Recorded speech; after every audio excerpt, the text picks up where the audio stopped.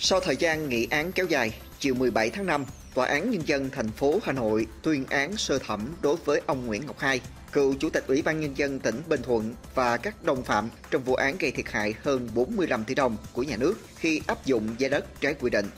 Trong vụ án, ông Nguyễn Ngọc Hai bị cáo buộc tội vi phạm quy định về quản lý sử dụng tài sản nhà nước gây thất thoát lãng phí. Trên cơ sở căn cứ hồ sơ, lời khai tại tòa và các ý kiến bào chữa, Hội đồng xét xử Tòa án Nhân dân thành phố Hà Nội quyết định tuyên phạt cựu Chủ tịch Ủy ban Nhân dân tỉnh Bình Thuận Nguyễn Ngọc Hai 5 năm tù. Cùng tội danh, tòa tuyên phạt Lương Văn Hải sinh năm 1960, cựu Phó Chủ tịch Thường trực Ủy ban Nhân dân tỉnh Bình Thuận 42 tháng tù. Ngô Hiếu Toàn sinh năm 1977, cựu Phó Giám đốc Sở Tài chính Bình Thuận 30 tháng tù. 8 bị cáo thuộc Sở Tài nguyên Môi trường tỉnh Bình Thuận bị tuyên phạt từ 24 tháng đến 5 năm tù. Cụ thể, Hồ Lâm sinh năm 1960, cựu giám đốc, bị tuyên 5 năm tù. Các bị cáo khác từ 23 đến 42 tháng tù. Riêng bị cáo Lê Anh Huy, sinh năm 1977, cựu chuyên viên phòng kinh tế đất, chi cục quản lý đất đai, bị tuyên phạt 18 tháng tù, nhưng cho hưởng án treo, trả tự do tại tòa. Bị cáo Nguyễn Văn Phong sinh năm 1967, cựu giám đốc Sở Tài chính tỉnh Bình Thuận, 24 tháng tù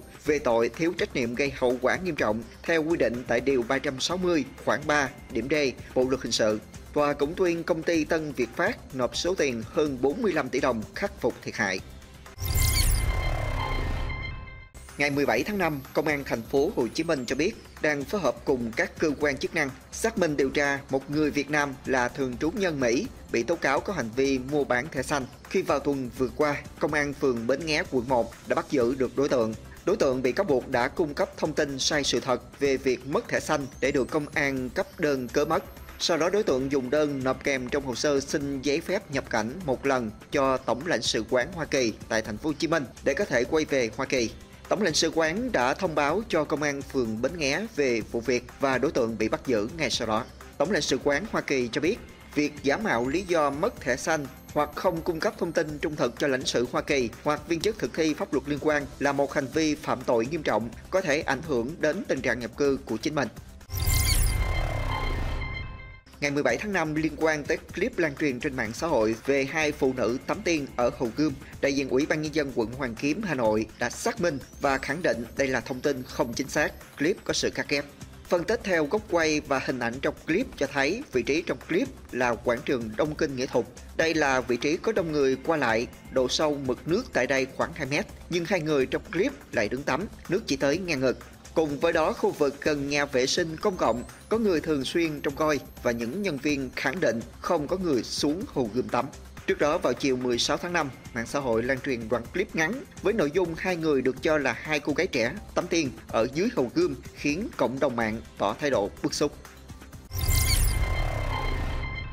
Bộ Tài nguyên Môi trường vừa có công văn 3382 gửi Ủy ban Nhân dân các tỉnh, thành phố trực thuộc Trung ương về việc triển khai thực hiện các quy định của pháp luật đất đai. Công văn đề nghị các địa phương trà soát ban hành theo thẩm quyền các văn bản để tổ chức thực hiện Nghị định số 10 trên 2023 trên NDCB của Chính phủ sẽ có hiệu lực từ ngày 20 tháng 5 năm 2023. Theo đó, các địa phương cần tập trung tra soát chỉ đạo cấp sổ đỏ cho người nhận chuyển quyền sử dụng đất, mua nhà ở, công trình xây dựng trong các dự án phát triển nhà ở và trong các dự án kinh doanh bất động sản, không phải dự án phát triển nhà ở theo quy định của Nghị định số 10 trên 2023 trên NDCB. Trường hợp tài sản là công trình xây dựng trên đất phi nông nghiệp, không phải là đất ở như khách sạn, căn hộ du lịch Condotel, biệt thự du lịch, căn hộ văn phòng kết hợp lưu trú Office Town, thương mại dịch vụ thì cấp sổ đỏ theo quy định tại Điều 32, Nghị định 43 trên 2014 của Chính phủ, quy định chi tiết thi hành một số điều của luật đất đai.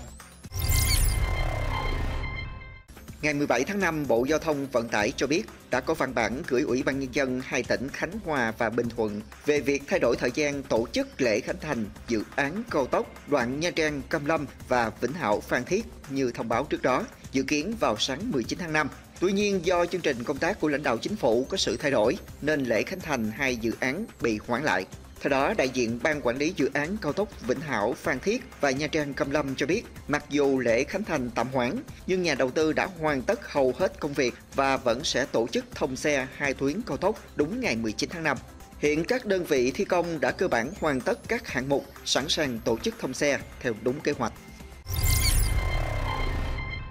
Ngày 17 tháng 5, cà phê Robusta tại các tỉnh Tây Nguyên đã chạm mức 56.200 đồng tới 56.700 đồng một ký nhân xô, cao hơn 5.000 đồng một ký so với hai tuần trước đó. Ghi nhận tại huyện Cam Lâm, tỉnh Lâm Đồng, giá cà phê Robusta đang được người dân bán 56.200 đồng một ký, thậm chí tới 57.000 đồng một ký, liên tiếp lập đỉnh trong những tháng gần đây và được ghi nhận là giá cao nhất từ trước tới nay. Sở Nông nghiệp Phát triển Nông thôn tỉnh Lâm Đồng cho biết do khan hiếm nguồn hàng nên giá cà phê trong nước tăng mạnh. Hiện cả nước có khoảng 710.000 hecta cà phê, trong đó Tây Nguyên có 639.000 hecta, chiếm 89,9%.